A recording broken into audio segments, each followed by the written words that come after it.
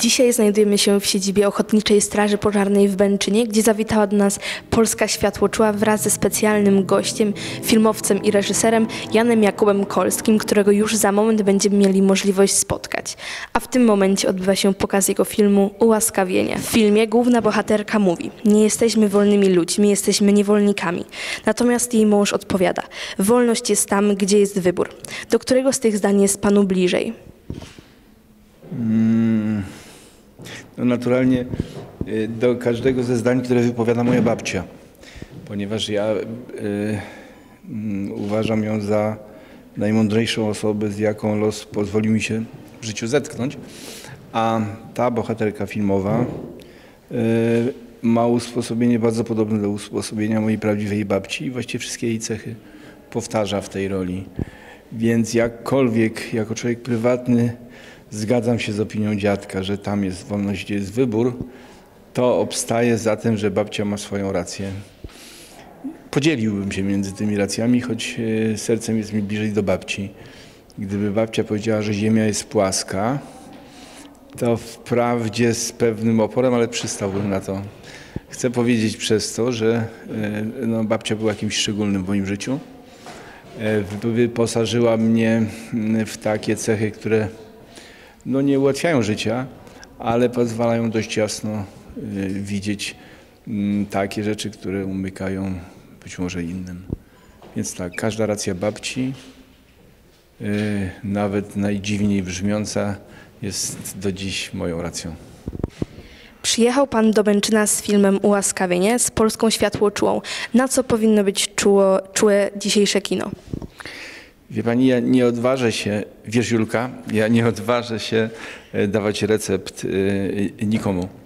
E, A kinu w szczególności. Kino jest dziedziną bardzo wrażliwą i nie poddającą się żadnemu dyk- dyktatowi. Jeśli gdzieś przetrwała wolność wyciekająca z takiej tkanki życia społecznego, to właśnie w kinie. My, filmowcy, jesteśmy niepodlegli. E, mamy rogate dusze. E, Nawet w czasach najciemniejszego komunizmu e, nasi mistrzowie robili filmy prawie bezkompromisowe. Mówię o Wajdzie, mówię o Zanussim, mówię o Kieślowskim, mówię o Kucu. No tak. Tak brzmi moja odpowiedź. Na ile oparł się pan na prawdziwej historii pana dziadków, a na ile włączył pan fikcję? Y, Włączyłem fikcję dopiero wtedy, kiedy fundament y, tego zdarzenia opisanego na ekranie mm, już był tak krzepki, już był tak potwierdzony przez choćby kwerendę y, w IPN-ie, y, y, y, że mogłem odetchnąć, że mogłem jako twórca y, włączyć wyobraźnię. No bo wiedziałem po jakim gruncie stąpam, wiedziałem co się zgadzało, e, a co się zgadzało mniej. E, Po tym jak skonfrontowałem to, co znalazłem w dokumentach, w takiej naprawdę poważnej, ponadrocznej kwerendzie, e, z tym, co sam pamiętałem. Więc dopiero wtedy mogłem przystać na te potrzeby, które film zwykle generuje, czyli na potrzebę dramaturgii, potrzebę struktury filmowej, no i potrzebę widowiska ostatecznie, bo przecież na koniec zasiadają przed ekranem widzowie i chcą się e, ucieszyć lub przynajmniej dać się poruszyć temu komunikatowi, który jest na ekranie. A jeśli miałby pan wybrać któryś y, z pana filmów poza ułaskawieniem do wyświetlania razem z polską światłoczułą, jaki byłby to film? Je, o, o, to są mądrale. Wiesz, to są mądrale, oni sobie dadzą radę bez moich dedykacji, bez moich wskazań. E, oni świetnie wybierają. E, obiecali na przykład, że pojedziemy w taką Polskę, em, gdzie e, psy mówią e, ludzkim głosem i że e, będziemy jeść tylko to, co sami złowimy w lasach. I to, to otrzymali słowa, więc ja im ufam. No dobrze, a tak na sam koniec proszę nam powiedzieć, skąd pan czerpie in- inspirację? Z powietrza. Jest taki proces, mówiąc całkiem serio, to akurat nie jest żart, choć ja dzisiaj jestem usposobiony tak żartobliwie raczej, to taki przedtakt przed cierpieniem, którego doświadczę pewnie po filmie na spotkaniu z widzami. E, z powietrza jest e, taki proces, który nazywam osmotycznym doświadczeniem kultury, że, że kultura to wszystko, co się zdarzyło, co jest zapisane w rozmaitych dziełach sztuki, cały to promieniowanie, cała ta emanacja jest w powietrzu. Jest coś takiego jak powietrze kulturowe, jeśli się go doświadcza, się, się wystarczająco wrażliwie słucha, patrzy, wącha nawet, to e, ma się przy tym uważność, to mm, temat sam się pojawia. E, Nie, nie, nigdy nie miałem mistrza. Mm, Bardzo długo broniłem się przed cudzą, cudzą literaturą. Ostatecznie nie obroniłem się, robiłem filmy również na podstawie takiego zaczynu literackiego pochodzącego spod cudzego pióra, spod cudzej wyobraźni. Ale wierzę w to, że można, będąc uważnym i e, słuchając świata, wdychając to powietrze kulturowe, znaleźć taką swoją ścieżkę, swoją, swoją drogę. I to są moje inspiracje. Dziękujemy bardzo za wywiad. W takim razie jesteśmy gotowi. Witam serdecznie jeszcze raz. Jesteśmy po pokazie filmu Ułaskawienie i razem ze mną jest reżyser Jan Jakub Kolski. Jesteśmy na projekcji w, Bęczy, w Bęczynie, przepraszam. No i teraz może ktoś ma jakąś refleksję po filmie, z którą by się chciał podzielić? Tyle osób podchodziło w trakcie przerwy. No dobrze, to ja może zadam pierwsze pytanie. E, Czy trudno się reży- reżyseruje taki film? To jest w ogóle robota dla e, ludzi, którzy e, lubią mm, wysiłek fizyczny. To jest praca obciążająca głównie w tej sferze. Praca wymagająca dużych mięśni, wytrwałości, umiejętności wstawania rano i kładzenia się spać ba, bardzo późno. E, No tak, e, więc ten film, ten film kosztował dużo wysiłku. Oczywiście y, trochę żartuję, bo sferze y, tej, jak będzie obciążająca jest znacznie bardziej niż sfera fizyczna, czyli sferze emocji, to by film przez mm, szczególność materii, której dotykał, bardzo wymagający, bowiem ten film, jak mało który eksploruje taki fragment y, bardzo osobisty mojej y, historii życiowej, losu mojej y, rodziny.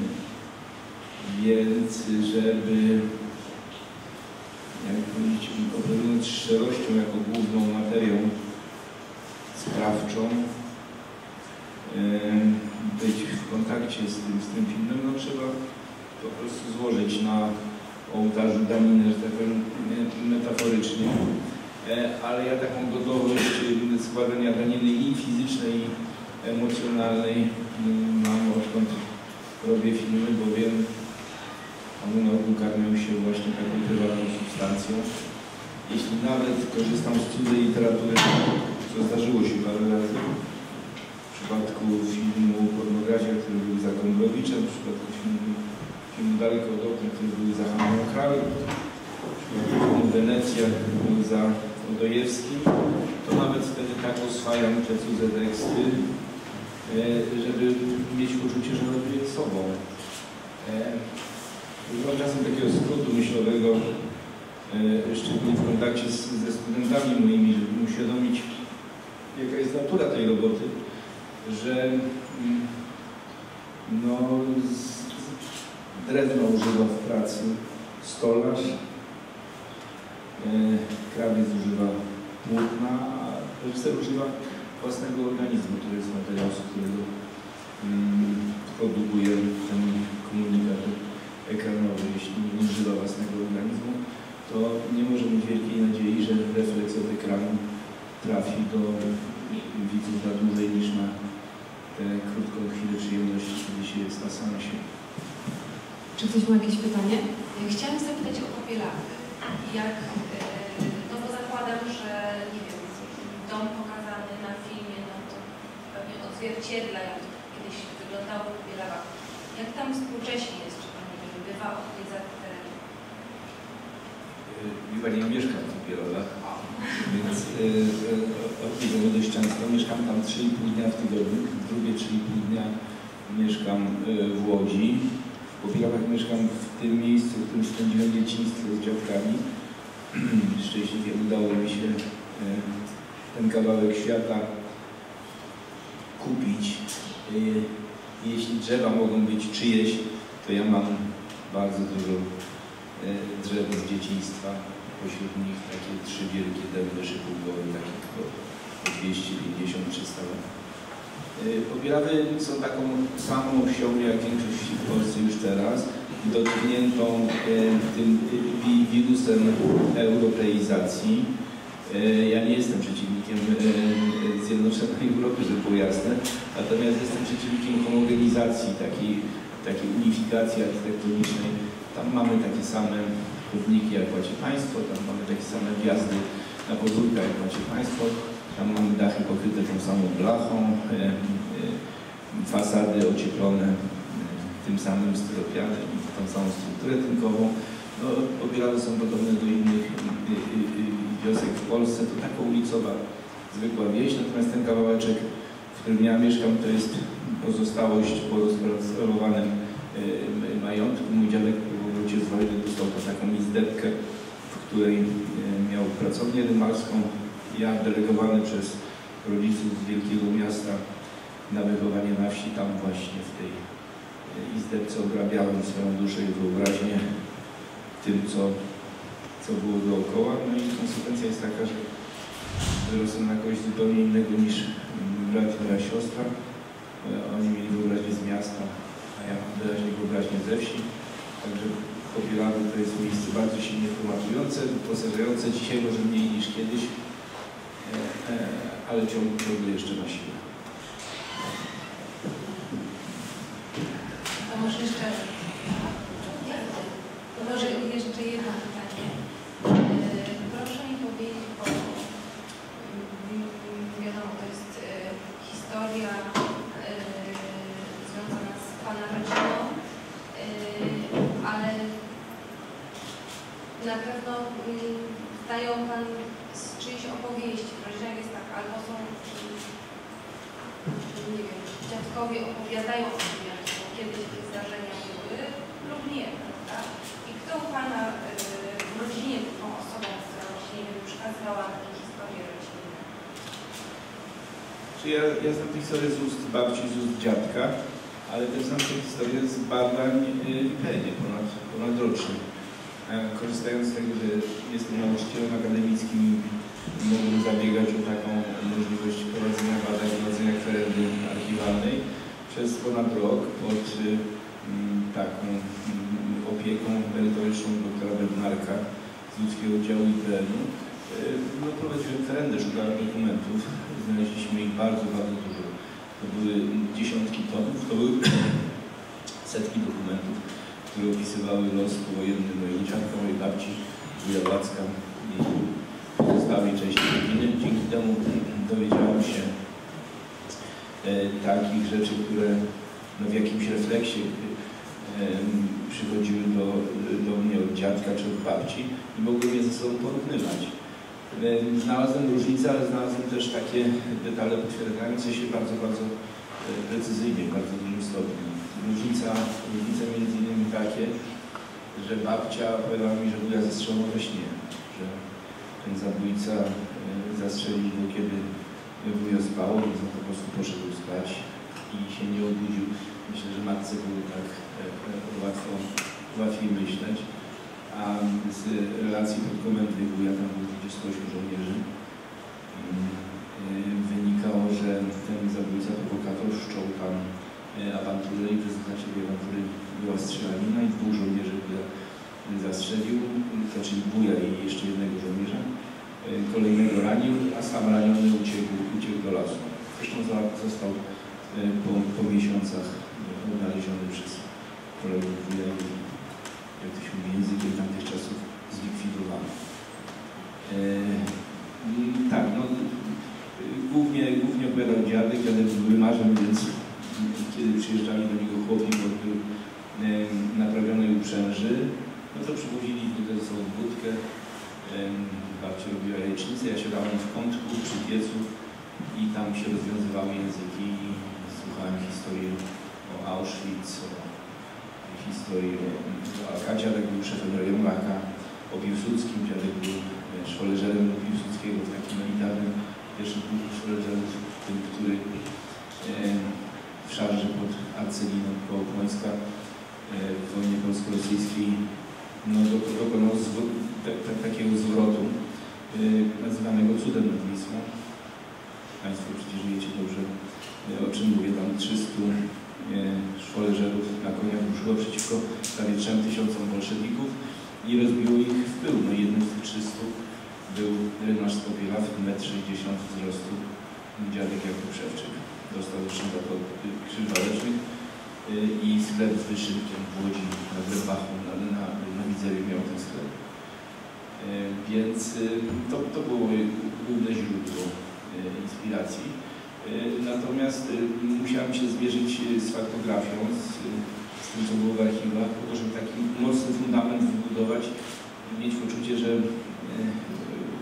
no, zyskuję jakieś uprawnienie do wymyślania dalszej części ich losu. No i tak go wymyśliłem z konieczności, jakie generuje filmowy. No to musi być dramaturgia, to musi być struktura, to muszą być punkty zwrotne i muszą być zdarzenia, za którymi pójdą widzowie, więc ta podróż, myślę, że Państwa rozczarowałem tym napisem na końcu. Ta podróż była wymyślona w jakimś rodzaju rekompensaty danej dziadkom za, za to, co ja od nich dostałem. Za te rozmaite wyposażenia nadzwyczajne. Czyli na cytanie z mojego punktu widzenia, nie pomyślcie Państwo, że ja się właśnie tutaj jaś, jaś samochwała ten osobie. Czy był jakiś taki moment y, w trakcie reżyserowania filmu, y, szczególnie dla Pana ważny i na przykład y, związany z całą historią rodzinną, które wpłynęło właśnie na sposób wyreżyserowania tego filmu? Tak, i to, był, y, to było zdarzenie z kategorii cudów, ale bardzo precyzyjnie przygotowane. Otóż ja, y, idąc śladem em, relacji pod kątem wujem, narysowałem mapę i y, mapę zdarzenia, mapę mm, taką topograficzną i odkryłem, gdzie powinienem szukać pocisku z tej serii, która wuja zabiła. E, no nie, nie dowierzali moi współtowarzysze, nie dowierzali moi e, współpracownicy, nie, nie dowierzali, że możliwe jest znalezienie tego pocisku, ja byłem tak nieugięty. Udałem się do miejscowości, nazywa się Chrzęce, do, Gajuszki, w której wuja zastrzelał. No i jak poszło, to znalazłem to miejsce, znalazłem przestrzelinę i tam przez pół godziny dłubałem nożem, aż wydubałem pocisk kalibru 9 mm. Jeden z serii, która wuja mojego brata zabiła. To pewne, dlatego że to był pocisk kalibru 9 mm. Ja się znam na, na broni, strzelam. E, I jedynym, który miał w tym oddziale e, stena kalibru 9 mm był właśnie Stefan Zając. Czyli, że to z, z, te, z tej broni, z tej serii pochodził pocisk. Więc y, pomyślałem, że już tak krzepko trzymam się rzeczywistości, że ona się do mnie odezwała w jakimś sensie ze światów, y, że mam w sobie no, przedmiot z tamtych czasów z jego energią y, i że ch- chyba to jest znak, że powinienem ten film y, robić. I, i tak poszedłem za tym. Proszę pana, ja mam też pytanie do pana. O, proszę pana. Proszę pana, chciałem pana zapytać, kiedy ten kolejny film będzie, który pan ze mną zrobi, obiecany. Artur Reinhardt. Lubisz niespodzianki? No, na Ja jestem małą niespodzianką. Mamy dla ciebie wielką niespodziankę tutaj.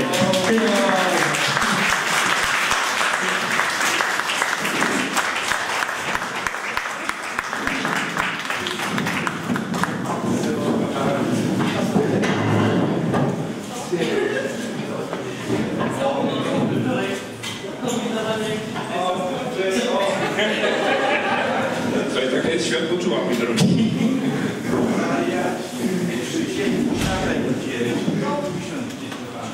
Pomysł tej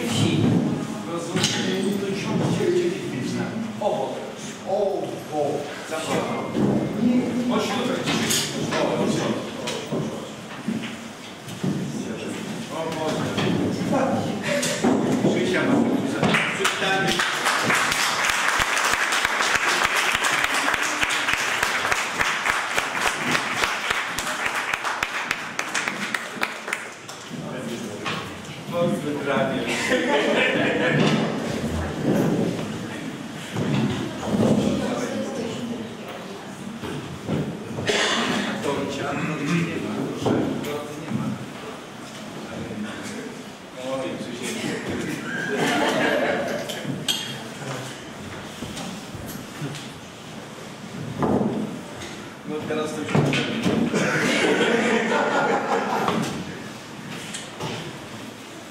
Czy macie Państwo jeszcze jakieś pytania? Może tak przy okazji nam Pan opowie, jak z Panem Krzysztofem Grobiszem się pracuje. No, Z Pracuje nadzwyczajnie.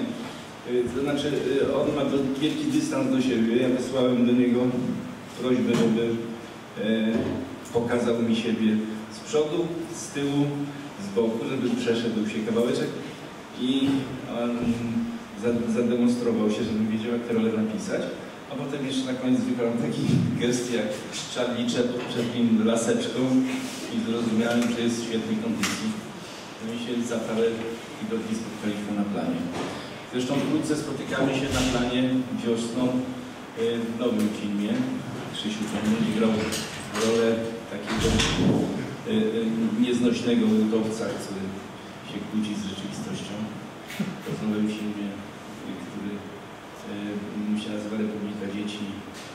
Jeśli przyszłoby Państwu do głowy zadać pytanie o plany, to, to odpowiadam.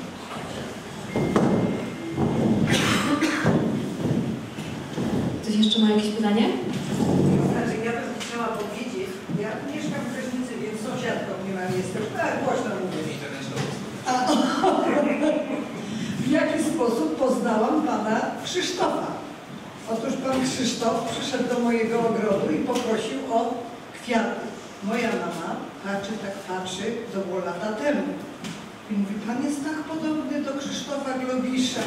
A pan Krzysztof mówi, no właśnie, to ja jestem Krzysztof Globisz. I w ten sposób poznaliśmy się i później no cały czas do tej pory pan Krzysztof zawsze przyjeżdża do mnie po narcyzm. Pani zresztą ma niezwykle bystre oko. Miałem się tego nie przyznawać, ale pani wytknęła mi jeden, pani wytknęła mi jeden bardzo poważny błąd w filmie. Powiedziała mi mianowicie, że w tych czasach, które sportretowaliśmy, nie było kukurydzy na polach, a jest tam takie jedno ujęcie, kiedy nasi bohaterowie idą drogą wzdłuż rzeki, i kamera się unosi i widać tę rzekę z góry, no to tam widać pole po kukurydzy i to po kukurydzy sianej maszynowo. Ja to wiedziałem, ale miałem nadzieję, że nikt tego nie zauważy. Jak widać, jak widać nie dało się. Nie szkodzi, to nic nie ujmuje.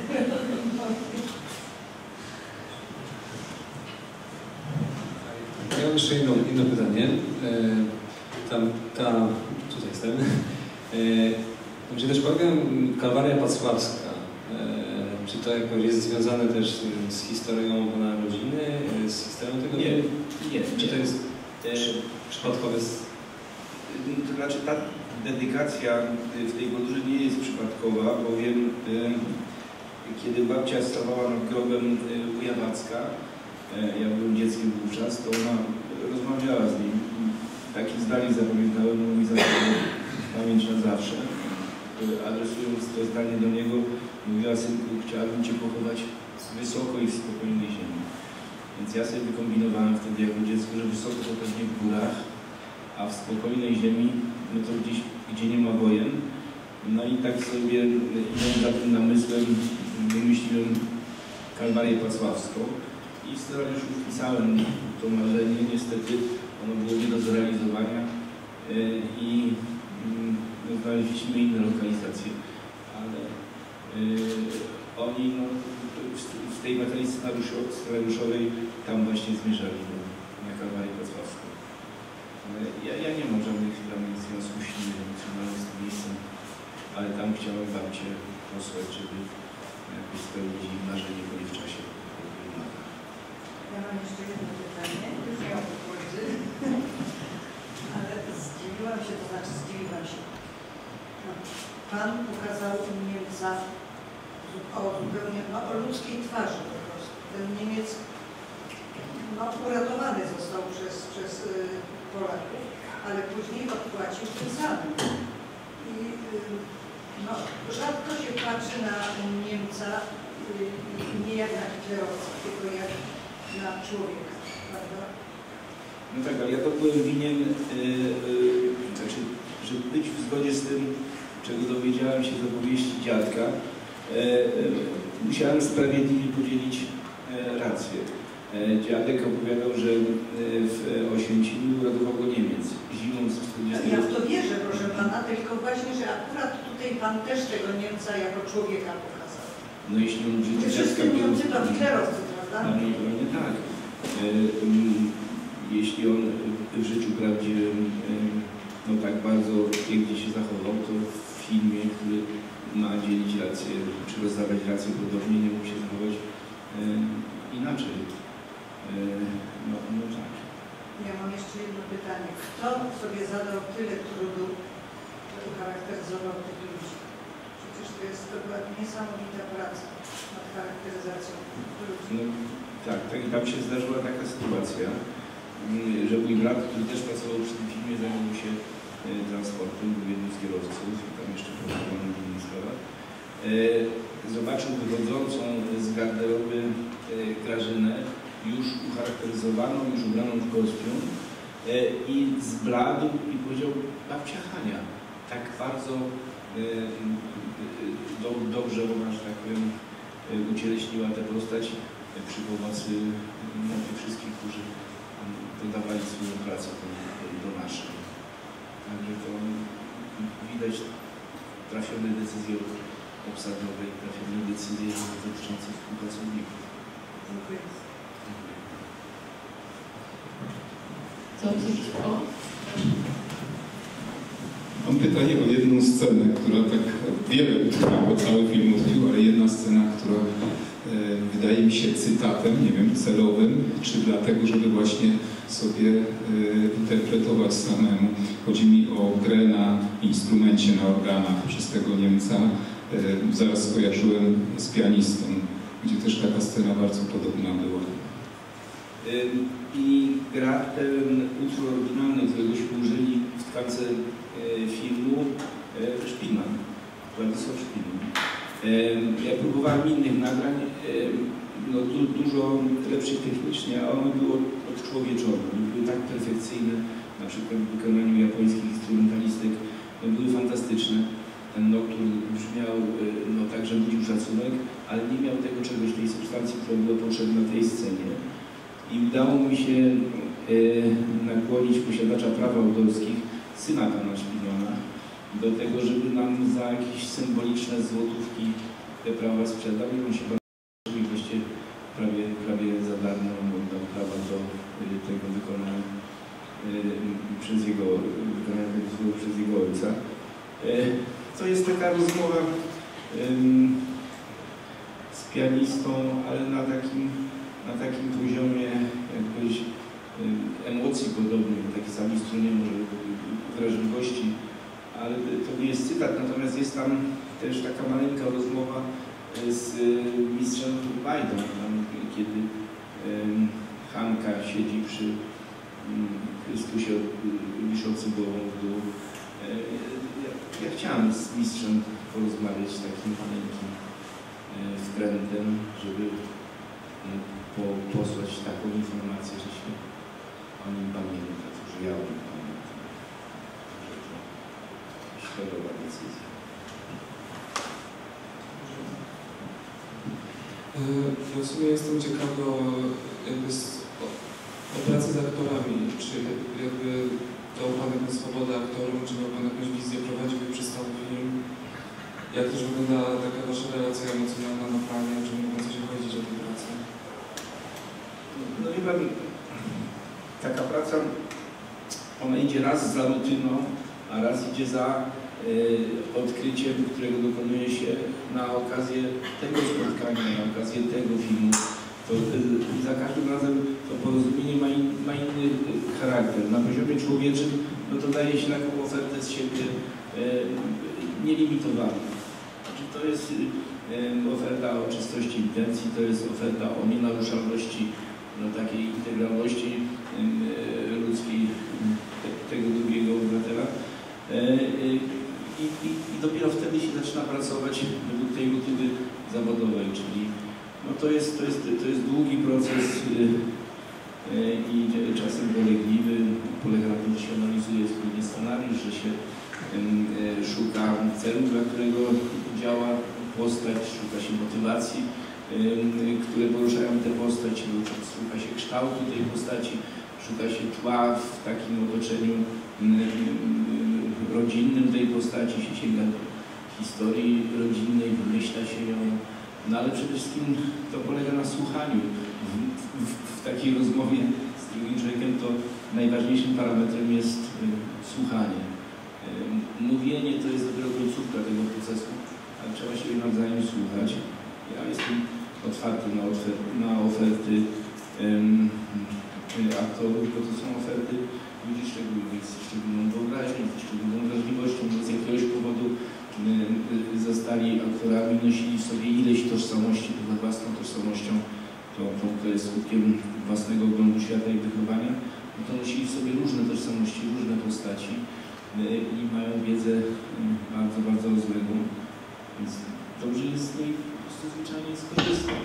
Wtedy najlepszym narzędziem jest słuch.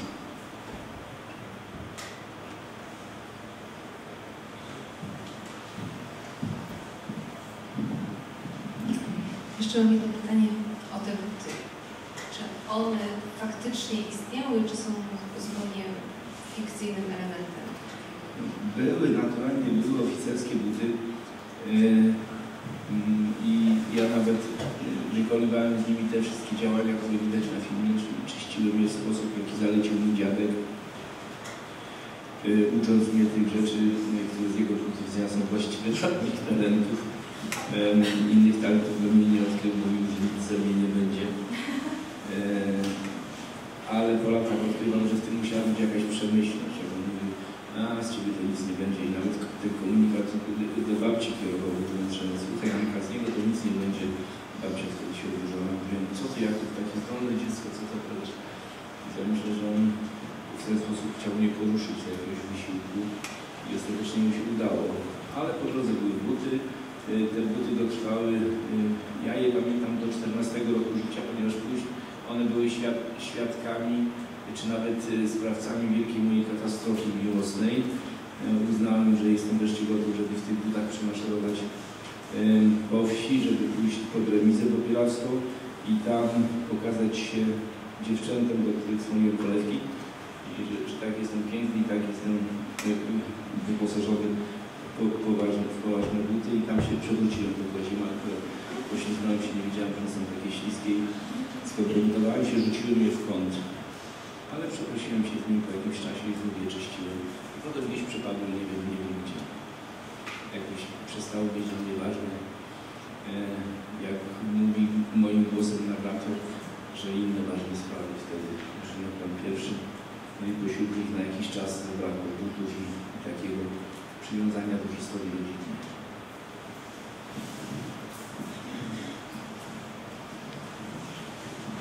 A jak się czuje Pan po stworzeniu filmu? Czy jest jakaś taka wewnętrzna ulga?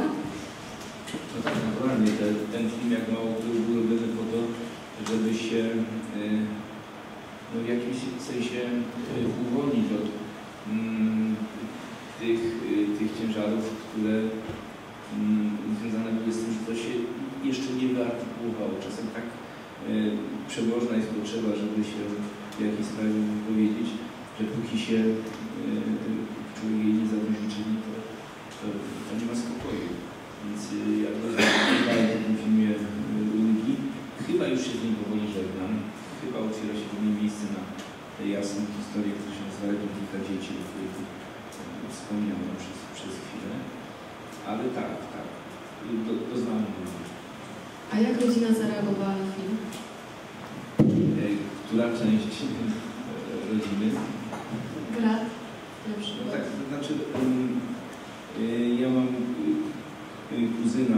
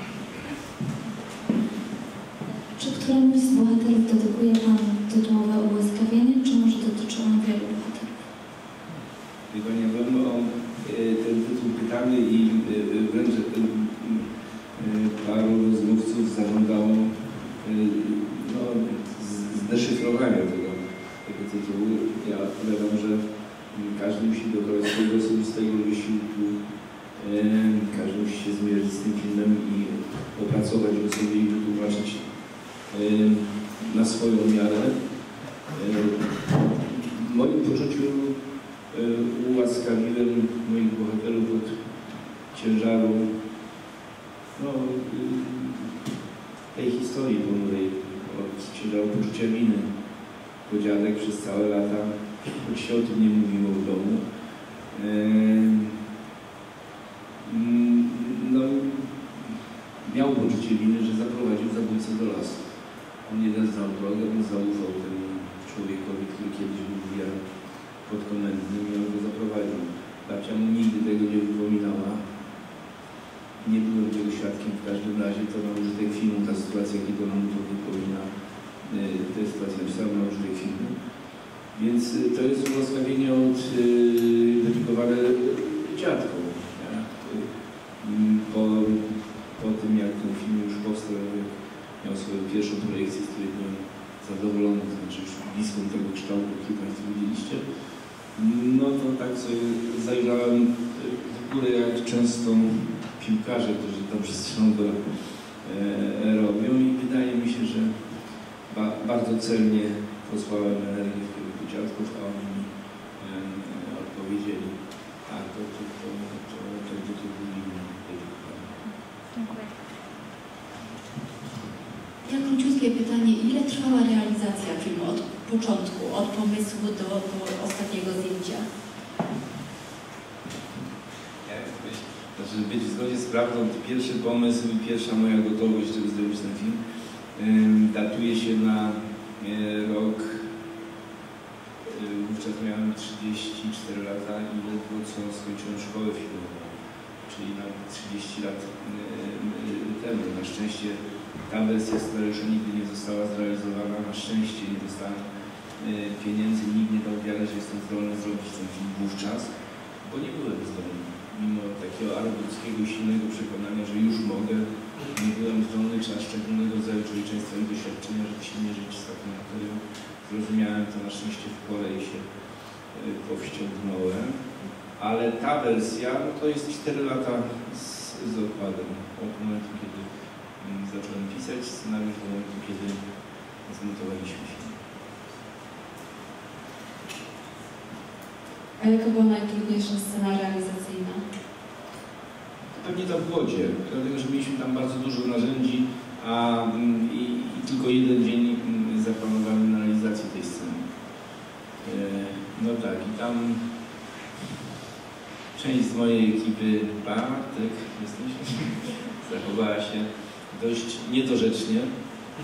Mianowicie był taki mostek, który można było przejść przez rzekę, przenieść tam e, kamery i założyć je na narzędzia, które były już przygotowane do drugiej części dnia, ale panom się nie chciało, wsiedli w samochód e, i okazało się, że jest jakaś blokada, że nie można przejechać i pojawili się trzy godziny później. więc zabrali mi trzy godziny z tego dnia. Ja mało tam nie dostałem apopleksji, ale ostatecznie wybaczyłem, wy- wybaczyłem to. I ta scena była trudna przez to, że musieliśmy z paru rzeczy re- re- rezygnować, że kręciliśmy już właściwie w zmierzchu, że później to była gimnastyka, żeby w, w postprodukcji jakoś wyrównywać te. Em, No, no, no tak, ale realizacyjnie ona była najtrudniejsza. Tam mieliśmy dużo rozmaitych narzędzi, kaskaderskie sceny, e, zimną wodę, e, no, pachy.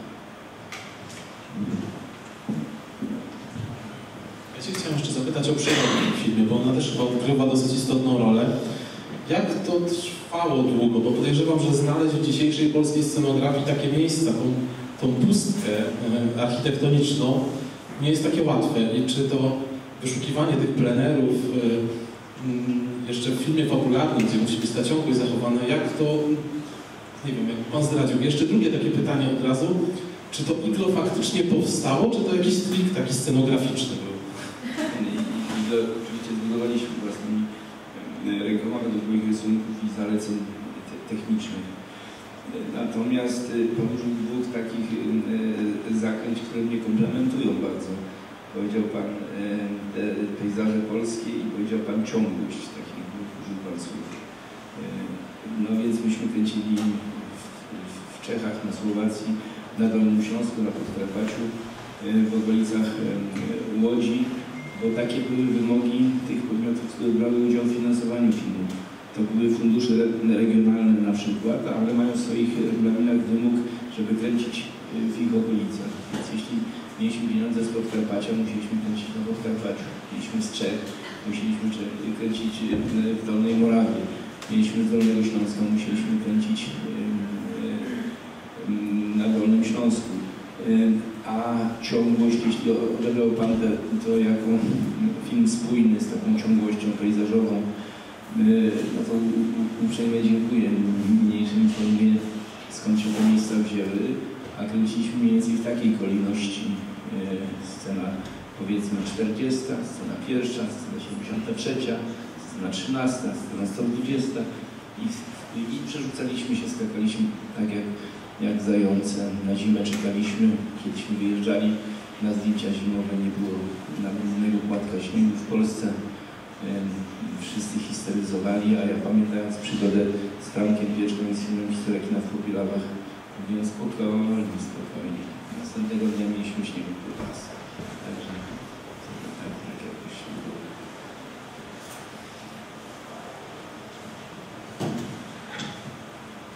To, to może na zakończenie, bo widzę, że, że już chyba powoli się repertuar pytań e, kończy. E, czy e, te niespodzianki, które dzisiaj e, osobowo trafiły na salę, No ja, ja, ja jestem wzru- wzruszony i poruszony. E, No to takie, takie pomysły to tylko światłoczuła i, i tacy szaleńcy. Bardzo jestem wdzięczny za, za ten najazd. a wie pan, wie pan, że to nie koniec? Domyślić?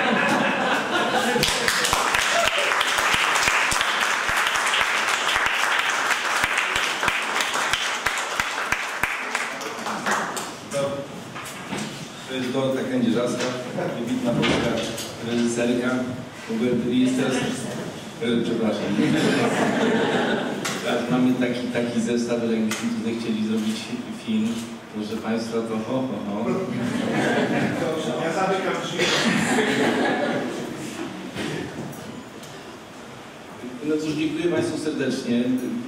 Ba bardzo mi miło, że film się spotkał z, z takim zainteresowaniem, a jeszcze bardziej mi miło, że w tak szczególnym miejscu spotkałem tylu przyjaciół. Także bardzo dziękuję za.